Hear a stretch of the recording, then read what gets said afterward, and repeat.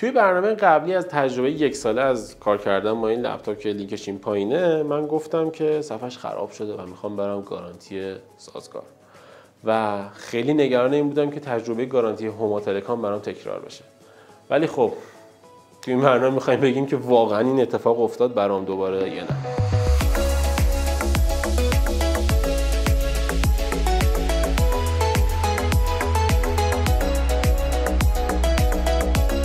همونجور که گفتم من یه تجربه تلخ از گارانتی هوما تلکام داشتم که لینک اون رو می‌ذاریم این پایین. اگه خواستید ببینید تا ببینید چه اتفاقی برای من تو گارانتی هوما تلکام افتاد. ولی خب گارانتی سازگار یه خورده متفاوت بود قضیهش برای من. من این لپتاپ بردم گارانتی سازگار و گفتم بهشون که صفحش خراب شده و بهم گفتن که اگه بخوایم این لپتاپ برای تعمیر کنیم نزدیک ده روز ممکنه طول بکشه و اگر قطعش نباشه تا دو ماه سه ماه ممکنه طول بکشه. من اون وسط نگران شدم به خاطر همین وایسادم وایسادم تا یه لپتاپ بگیریم برای بررسی. سر همینم این لپتاپ یعنی جی 512 رو برای بررسی اووردیم که بررسیش کنیم. همزمان من این لپتاپ رو هم دادم برای گارانتی که گارانتی بیاد درستش کنه. دادم به گارانتی سازگار که سمت میرزا شیرازی تهران توی تهران سمت میرزا شیرازی خیابان میرزا شیرازی. بردم اونجا تحویل دادم و گفتن خب OK این لپتاپم پرفروشه مسئله ای نداره. در مورد اینم یه دونه برنامه داریم. که چه لپتاپی بخرید چه دستگاهی بخرید بهتره با توجه به شرایطی که ایران داره.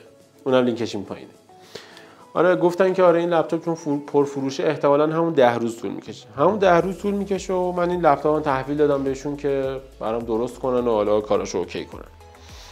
این لپتاپ دستشون بود تحویل دادم و با نگرانی باش خدافزی کردم. رفتم و حدود فکر کنم دقیقا ده روز بعدش. آره ده روز بعدش سازگاری اسمس به من داد که دستگاه شما آماده است بیاید تحویل بگیرید. من رفتم دستگاه تحویل بگیرم و همش نگران این بودم یه اتفاق بد برام میفته یه اتفاق بد برام میفته اومدم و لپتاپ گرفتم. لپتاپ اونجا تست کردم هیچ مشکلی نداشت.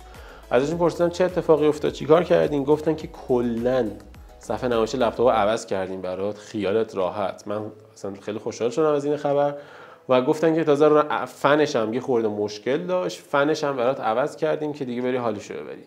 و فکر کنم نزدیک 10 15 میلیون خرجش کرده بود. بعد گفتم من هزینه قرار بدم گفتن که نه قرار نیست هزینه ای بدی.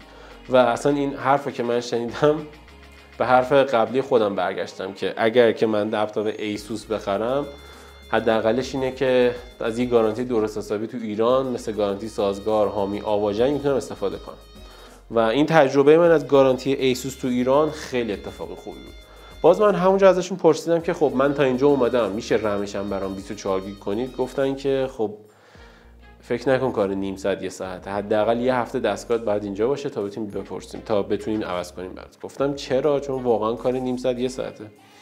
گفتش که ما باید اینو با ASUS تایوان هماهنگ کنیم بهشون ایمیل می‌زنیم ازشون سوال می‌پرسیم.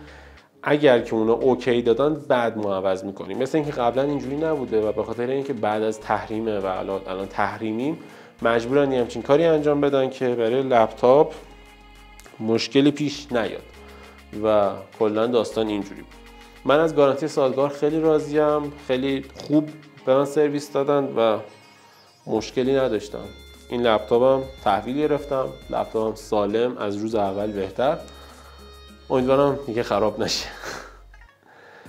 شما نظرتون در مورد این گارانتی ها چیه؟ تجربه از گارانتی سازگار داشتید؟ حتما تو کامنت ها برام بنویسین تا حالا ما هم ازش بیشتر مطلع بشیم. با هم صحبت می‌کنیم. خب من اینجا یه توضیح کوچولو بدم در مورد اون برنامه قبلیمون که آموزش نصب ویندوز بود. توی اون برنامه گفتیم که خب دانلودها و سافت 98 از تو اونجا ویندوز رو خود ویندوز رو از اونجا دانلود نکنید. برید مثلا اینو از سایت مایکروسافت دانلود کنید من فقط در مورد ویندوز این حرفا زدم. نرم افزار دیگه هم خودم از سایت دانلودها سافت 98 اینو دانلود می‌کنم. و اصلا خود من کاربر این دو تا سایتم. حالا یه سری اومدن زیر برنامه ها سری کامنت ها گذاشتن یه سری چی گفتن که بچه ها دوستای ما تو دانلود ها دوست نداشتن. سر همین هم بهمون گفتن و ما حالا برای جبران این قضیه گفتیم که این تیکه صحبت تو این برنامه بذاریم فقط توضیح بدیم که چه اتفاقی افتاده بود. ممنون. اگر که این برنامه دوست داشتید like و subscribe و follow تو اینستا. یوتیوب و آپارات فراموش نشه همچنین اگر که می‌خواید با ما بیشتر در ارتباط باشین با username ادساین شکست یا لینک های این پایین توی تو شبکه اجتماعی ما رو پیدا کنید.